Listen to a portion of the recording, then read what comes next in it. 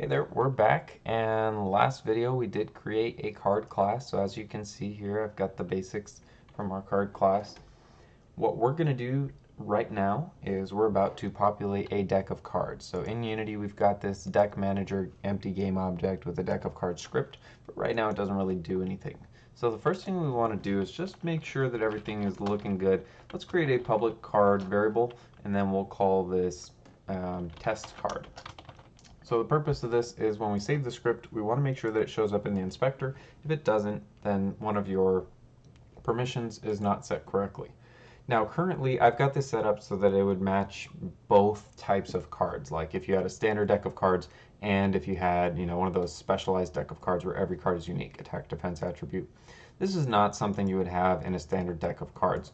But for the purposes of populating the deck, we're going to go ahead and keep those enabled. In fact, you know what? Here's what I'm going to do. I'm just going to comment all of this out. And I think that'll make things a little bit simpler.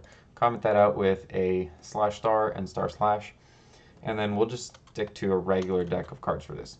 So what we want to do is in the start function, we want to create all 52 cards that will be in this deck. We have hearts, clubs, diamonds, and spades. There should be 0 to 12 of each of them. Or you could do like 1 to 13, you know. Yeah, 1 to 13.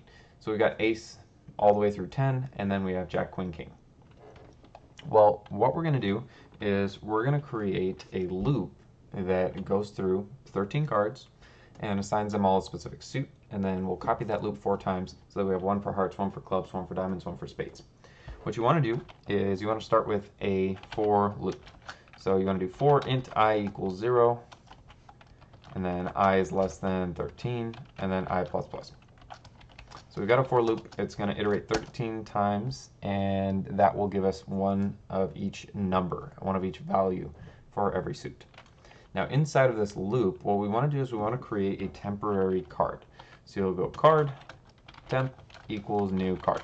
The reason why you do this is because we're going to assign some cards to a deck and we need this temporary card to manipulate some values as we assign each one. We want to have a public card array, and this card array is going to hold every card in the deck. So we'll call this deck, or you can call it deck of cards, whatever you want. Just don't use the exact same name, otherwise it's not going to work. So now what we want to do is we want to set every value in the deck. Um, if we had just gone through the array and like tried to set values and stuff like that, it wouldn't work quite as well as we wanted it to. So what we'll do first is we'll just go to the deck and initialize it. Deck equals new card. Give it a, a size. So we want it to be 52 in length. So we'll put a 52 in there. If you wanted it to be a different size, let's say 30 or 40 or 100, whatever, you would put that size right over here. This should be the number of cards in the deck or the number of cards possible. I mean, it just depends on what you're trying to do. You have to initialize it with the maximum size.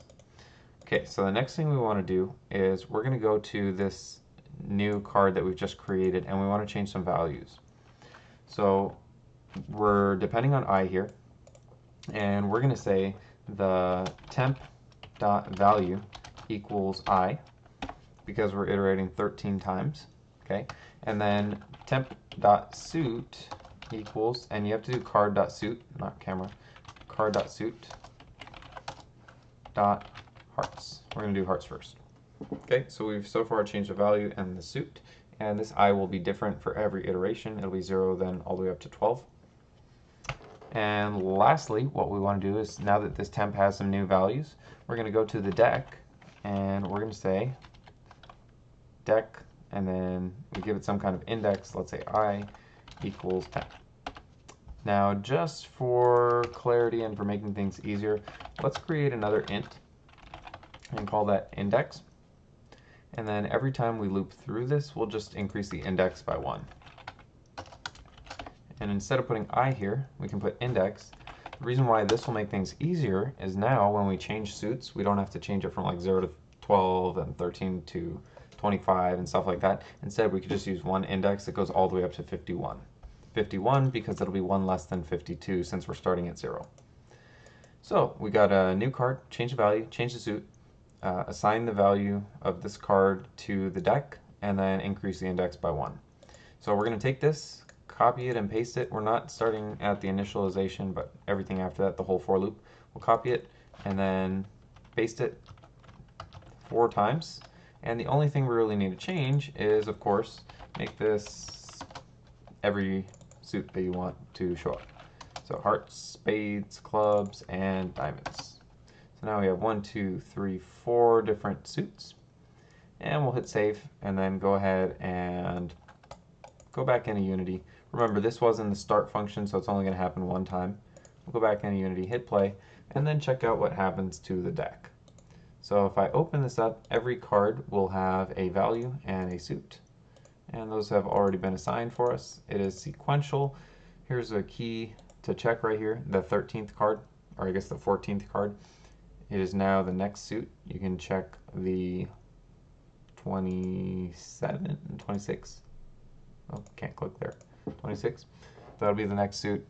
And then, of course, you can check card number, I believe it's 39. Yep, that'll be the last suit.